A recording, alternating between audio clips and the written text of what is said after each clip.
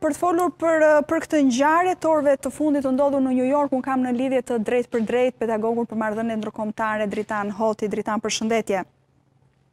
Mirëmbrëma Bruna, faleminderit për ftesën. Ende janë të pakta, faleminderit. Ende janë të pakta informacionet në fakt që vijnë nga New Yorku, ajo çfarë dihet është se si ka ndodhur uh, plagosja e shkrimtarit të famshëm, teksa ishte duke folur, duke mbajtur një fjalim në një institut në New York. Por Duke ditur se çfarë simbolizon Salman Rushdie, lidhur gjithmonë referuar shkrimeve dhe romaneve të tij, si mund të konsiderohet ky akt? Ky akt është në është një lloj finaliteti i një kërcënimi i cili është shpallur për prej më se 30 vjetësh për përpara nga lideri suprem i Iranit, Ayatollah Khamenei, Fill pas botimit të librit Vargjet satanike të shkrimtarit indian,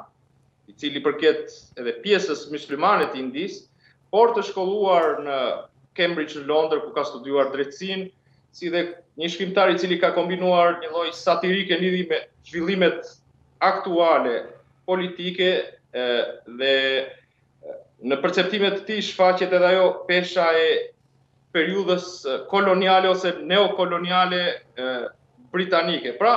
është finaliteti i një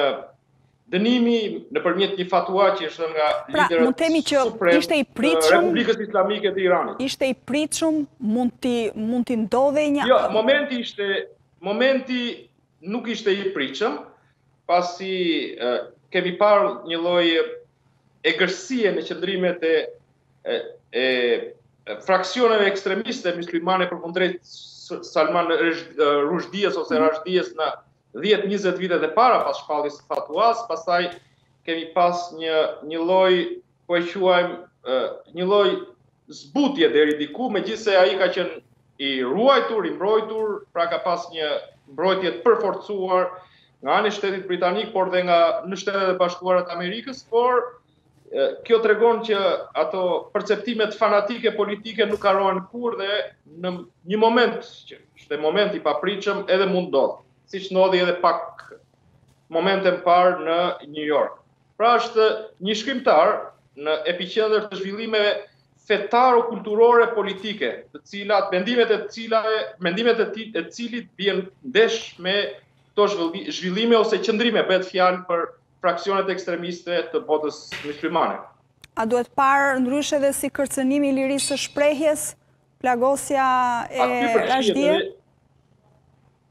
Aty përfshihet edhe liria e shprehjes, pasi është një shkrimtar i cili ka shkruar librin Vargjet satanike dhe ka pas një qëndrim drastik radikal kërcënues nga një pjesë e elitës po radikale të shteteve teokratike të Lindjes së Mesme, me atentatin e tij jo vetëm që është një sulm përkundrejt lirisë e një shkrimtari të spikatur të epokës tonë,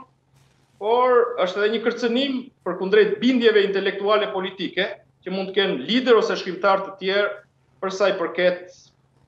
disa qëndrimeve ose bindjeve të tyre në lidhje me me fe të ndryshme në në në, në rastin në fjalë me fenë myslimane, religjionin mysliman. E kemi parë dhe në Paris, mos harrojmë po. atentatin disa vite përpara te dezinjatorët dhe gazetarët e redaksisë franceze të cilët Charlie Hebdo, e ke fjalën për Charlie Hebdo. Po, po, të ishin të, të shfaqin një lloj satire përkundrejt të profetit Muhammed dhe reagimin e dhunshëm nga ana e radikalëve muslimanë, por dhe Salman Rushdie ka shkruar këtë libër, pra vargjet satanike mbështetur, pra duke aluduar mbi jetën e profetit Muhammed. Prandaj edhe reagimi ka qenë Pra dënimi ka qenë radikal edhe maksimal nëpërmjet një fatuaje. Po, por duke patur parasysh të gjithë, Dritan, gjithë ecurinë, gjithë provokimin që ka bërë vargjet satanike, faktin që ato nuk lejoheshin në shumë vende me shumicë muslimane, ky atentat i sotëm mund të ishte në njëfarë mënyre një kronikë e paralajmëruar për Rushdien Ka qenë një kronikë patjetër e paralajmëruar, ju e thatë shumë mirë, Bruna, pasi ka pasë dhe precedentin e atentateve shtatë vite më parë në Paris, nisur mbi të njëjtat premisa, pra guximin nëpërmjet disa trajtimeve në një formë satirike në lidhje me profetin Muhamed, të cilat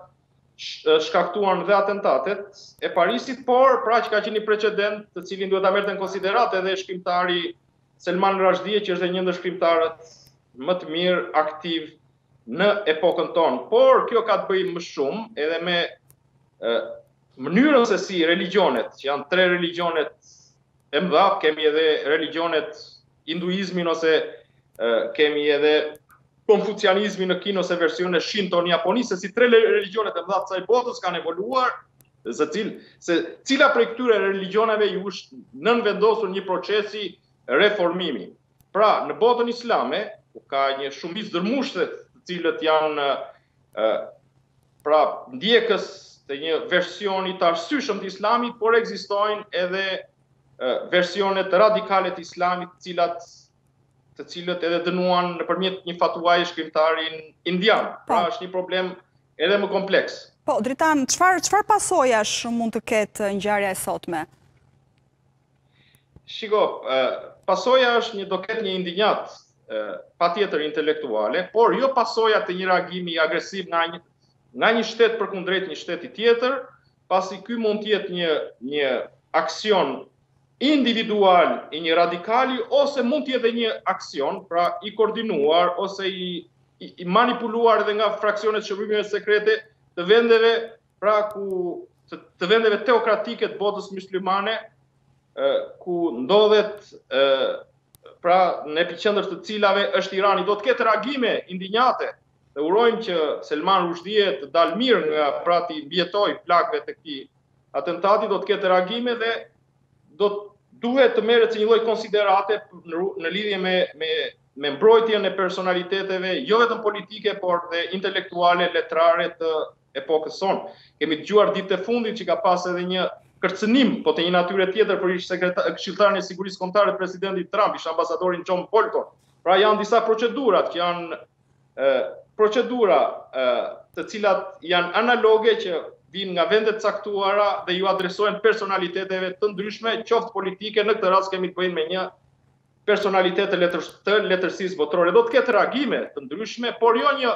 një të një përmase ose të që, disa qëndrimeve radikale të një natyre shtetërore. E qartë, Dritan, falënderoj shumë për intervistën. Faleminderit ju për këtë intervistë në kohë reale dhe Goxha profesional, meqenëse evenimenti ka ndodhur pak kohë më parë. Faleminderit. Po, dhe sigurisht që meriton një vëmendje kur bëhet fjalë për shkrimtarin e famshëm Salman Rushdie. Faleminderit Dritan.